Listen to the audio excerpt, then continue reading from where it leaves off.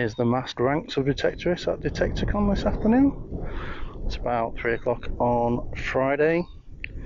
You can see the uh, site is starting to fill up already. There's the main event uh, area, camping over that side. And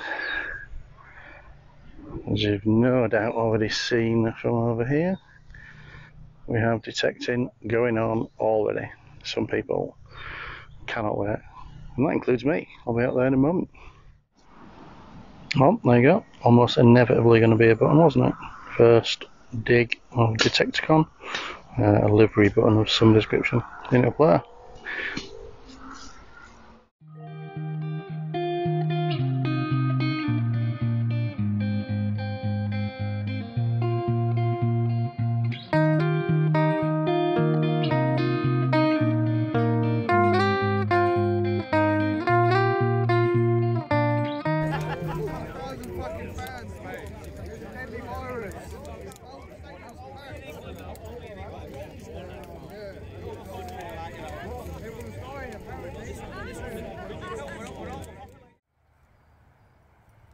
Oh, Detectorcon Day 2 and we're heading out to this pasture field towards the back where a lot of people have already decided to go for a wander.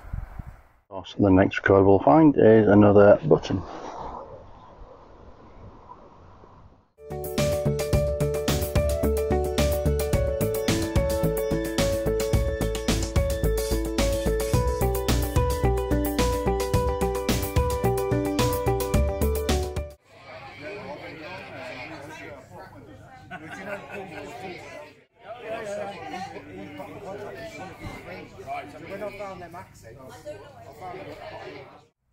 So tcDetects at Detectorcon, this is day two afternoon, so what's that, hunt three I guess if you're looking it that way around.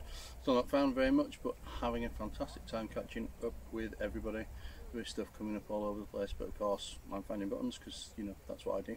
Um, but we are going to hit the meadow field behind us again and uh, see what we can find. Yeah, next find is eyes only entirely is a skull of some description. Mammalian, lamb, fox, badger, who knows.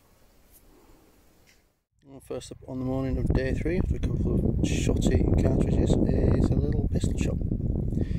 Probably the nicest find I've had so far this weekend. Weather is blistering again, everybody's out on force. Pan up, see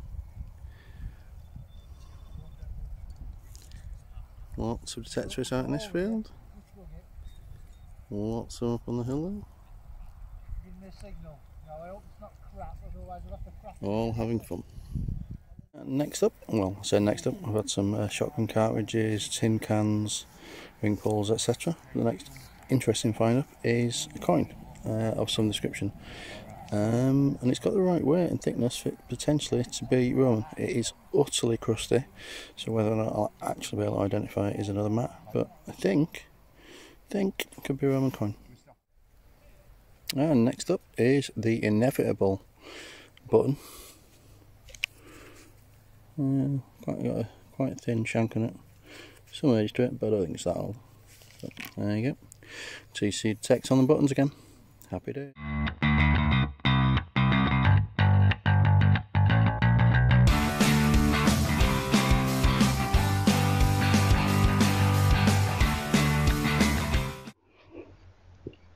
And next up is another coin, battered half penny, I think. And next signal is another coin, but this one's a modern one, a five pence piece.